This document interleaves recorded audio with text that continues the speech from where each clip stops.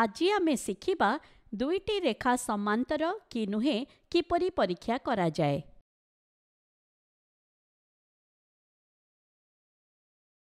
ମନେକର ଆମକୁ ଦୁଇଟି ରେଖା ଦିଆଯାଇଛି ରେଖା L O Rekha M A ରେଖା ଦୁଇଟି କ'ଣ ସମାନ୍ତର ବା ପ୍ୟାରାଲାଲ ଅଟନ୍ତି?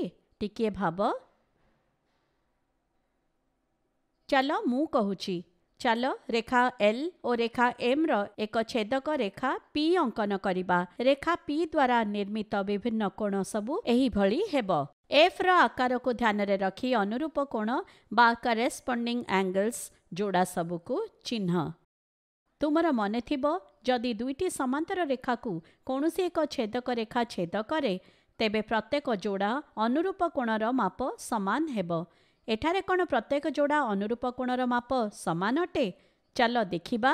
ଯଦି ଆମେ ଏହି କୋଣକୁ ଟ୍ରେସ୍ ପେପରରେ ଆଙ୍କି ଏହାକୁ ଏହାର ଅନୁରୂପ କୋଣ ଉପରେ ରଖିବା ତେବେ ଆମେ ଦେଖିବା ଯେ ଏହି ଦୁଇଟି କୋଣ ପରସ୍ପରକୁ ପୂର୍ଣ୍ଣ ଭାବେ ଢାଙ୍କି ପାରୁଛନ୍ତି। ତାମାନେ ସେ ଦୁଇଟି କୋଣ ପରସ୍ପର ସମାନ ଅଟନ୍ତି। ଏହିଭଳି ଚାଲ ପ୍ରୋଟ୍ରାକ୍ଟର ସାହାଯ୍ୟରେ ଜାଣିବା ଅନୁରୂପ କୋଣ ଯୋଡ଼ା ସମାନ ହେଉଛନ୍ତି କି ନାହିଁ।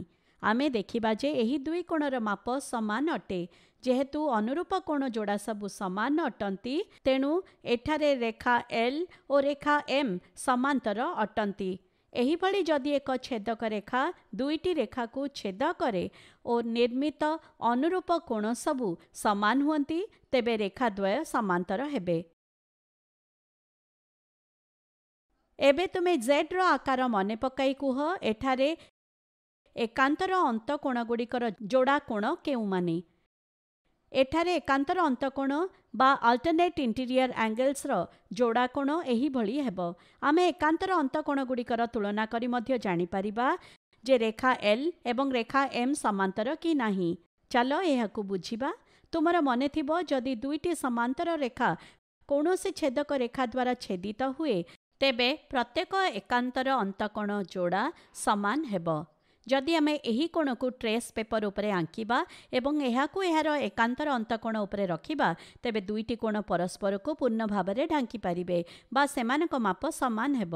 ଏହା ପ୍ରତ୍ୟେକ ଏକାନ୍ତର ଅନ୍ତକୋଣ ଯୋଡ଼ାମାନଙ୍କ ପାଇଁ ସତ୍ୟ ଅଟେ। ଯେହେତୁ ଏଠାରେ ଏକାନ୍ତର ଅନ୍ତକୋଣର ପ୍ରତ୍ୟେକ ଯୋଡ଼ା ସମାନ ଅଟେ ଏଣୁ ଆମେ କହିପାରିବା ଯେ ରେଖା ଏଲ୍ ଓ ରେଖା ଏମ୍ ସମାନ୍ତର ଅଟନ୍ତି।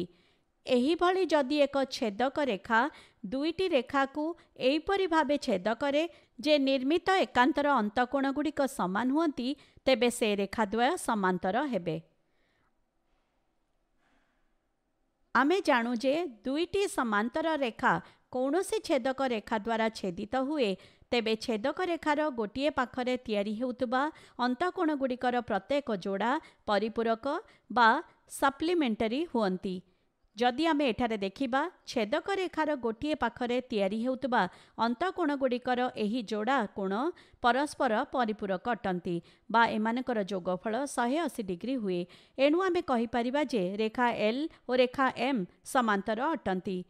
ଏଣୁ ଆମେ କହିପାରିବା ଯେ ଯଦି ଏକ ଛେଦକ ରେଖା ଦୁଇଟି ରେଖାକୁ ଏହିଭଳି ଛେଦ କରେ ଯେ ଛେଦକ ରେଖାର ଗୋଟିଏ ପାଖରେ ତିଆରି ହେଉଥିବା ଅନ୍ତକୋଣ ଯୋଡ଼ା ପରସ୍ପର ପରିପୂରକ ହୁଅନ୍ତି ତେବେ ଆମେ କହିପାରିବା ଯେ ରେଖା ଦୁଇଟି ସମାନ୍ତର ଅଟନ୍ତି।